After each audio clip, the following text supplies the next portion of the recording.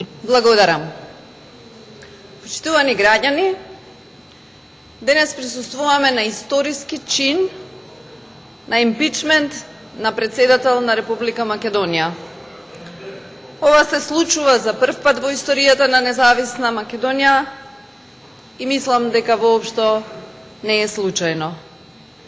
После политичките грамади, после политичките колоси, какви што беа господинот Киро Глигоров, господинот Борис Трајковски, господинот Бранко Црвенковски, нашата земја е соочена за жал со еден цивилизацијски пад со изборот на Ѓорѓе Иванов за председател на нашата држава.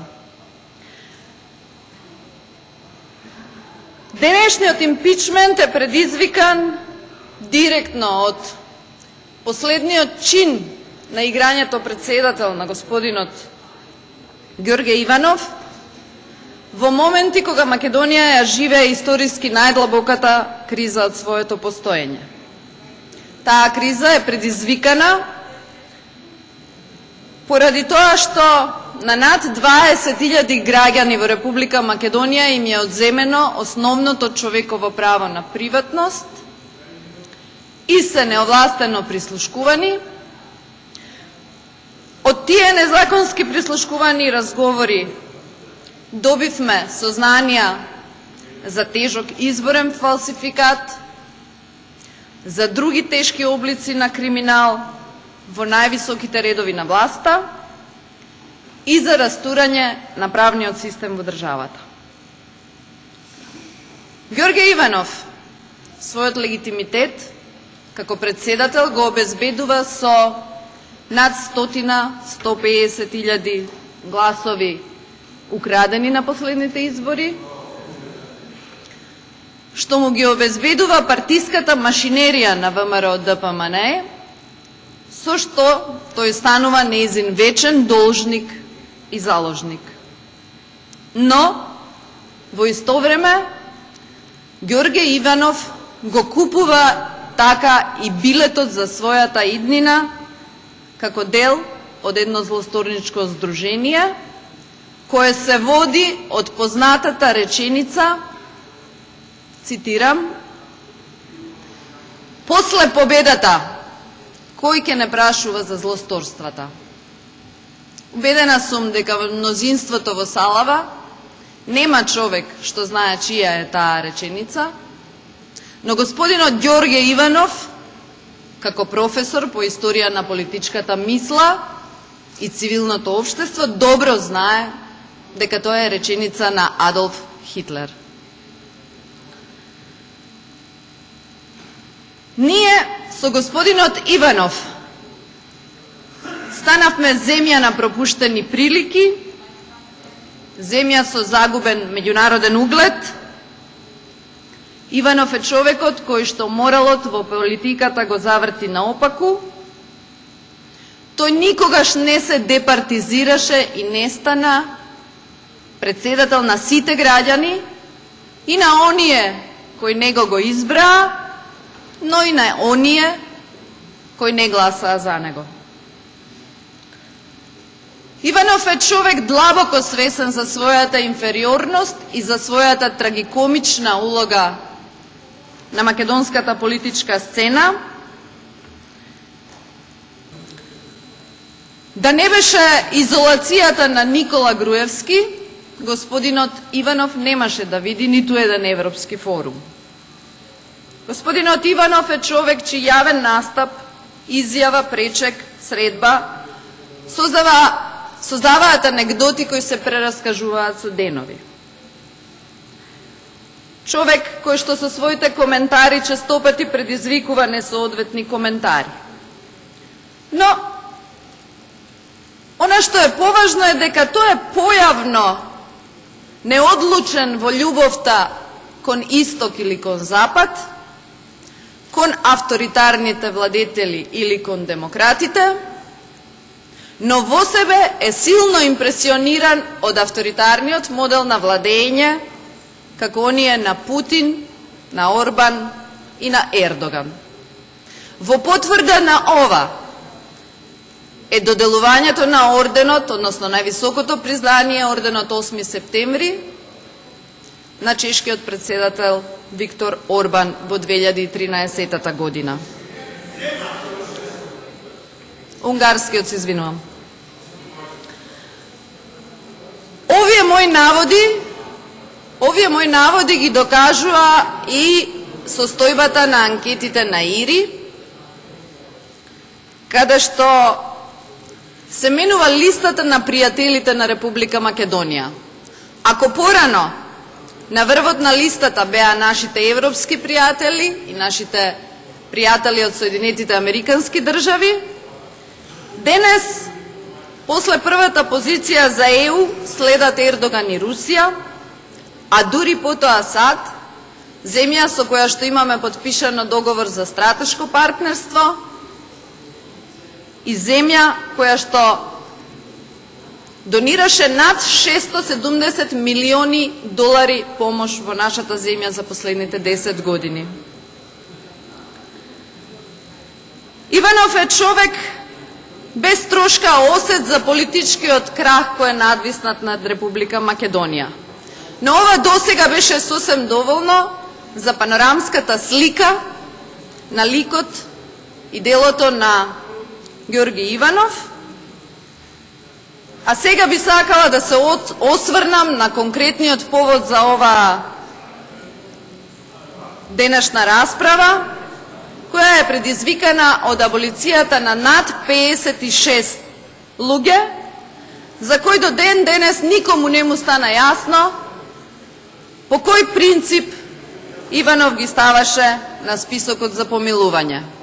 Да подсетам, најголемиот дел од луѓето беа препознаени по тоа што беа дел од најавените процеси Титаник, ТНТ, тортура, тврдина и така натаму. Оваа одлука на Иванов однесе и еден човечки живот, бидејќи тие што се закануваа по животот на Крпач, со аболицијата си обезбедија, наместо да бидат во притвор, да бидат на слобода и да се закануваат.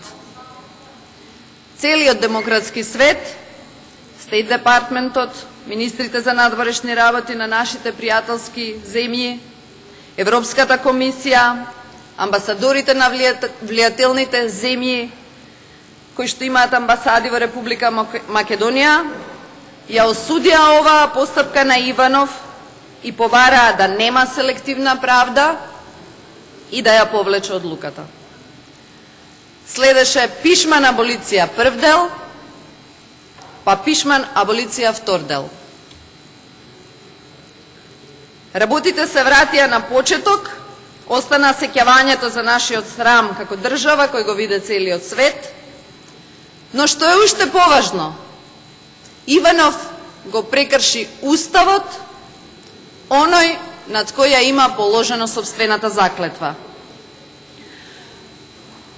Со аболицијата на Иванов се случија три важни последици за нашата земја. Под број 1 меѓународна изолација на Република Македонија, под број 2 внатрешни граѓански немири и под број 3 комплетно уривање на Пршинскиот договор. И после тоа Иванов ја повлекува аболицијата. Иако не е во салата, јас сум сигурна дека господинот Иванов во топлинки или завиткане во кебе, сместен пред телевизорот, немоќен да објасни што е тоа што го правеше последниве месеци, но тоа нема да ме попречи денес од оваа говорница да му се обратам директно со некои прашања кои што се прашања за сите граѓани на Република Македонија. Господине Иванов, како не чувствувате политичка одговорност за ваквото растурање на земјата? Како што реков, меѓународна изолирана, со внатрешни протести, и со расурен пржински договор кој што беше надес, надеж за излез од кризата. И тука воопшто не е важно што мислите, што објаснувате, туку што правите. Политичката одговорност се заснива на гестовите кои ги провлекувате, а не на тоа што сте мислеле приватно или на тоа што некој ви го наредил. Политичката одговорност се заснова на објективните последици кои ги предизвикавте, а кои се девастирачки за земјата.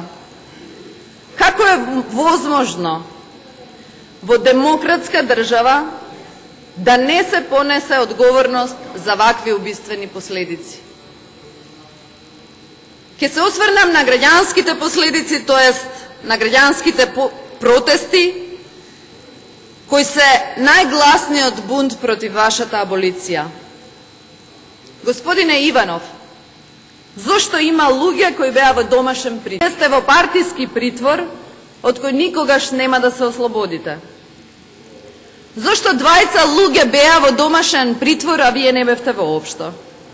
Зошто се повикани над 80 луѓе на распит, а вие денес не дојдовте на распит во собранието? Зошто има 33 кривични пријави за учесници на протестите во Скопје и во Битола против вашата аболиција, а вие ја повлековте аболицијата? Зошто нема кривична пријава за вас, господине Иванов?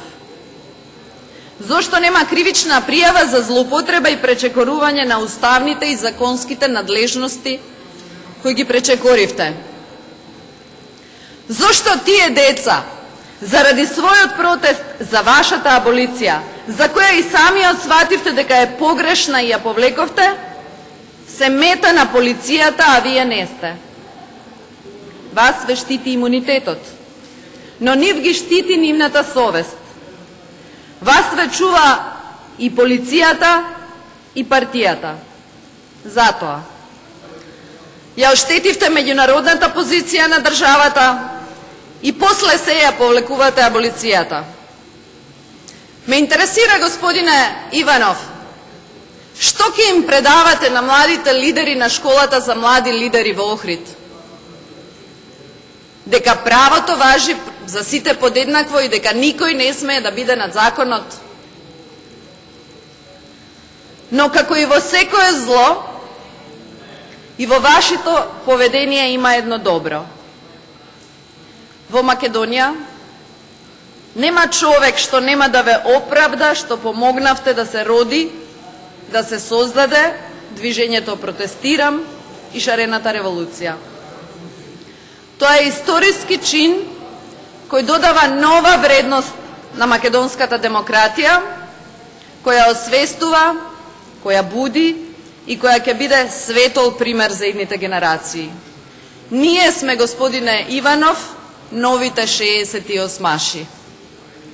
Македонскиот устав е проектиран да ги штити граѓаните од појавата на налудничави поединци и затоа е, господине Иванов, поделбата во најважните сфери, во внатрешните работи, во надворешните работи, во одбраната помеѓу председателот и министрите кои ги водат овие ресори.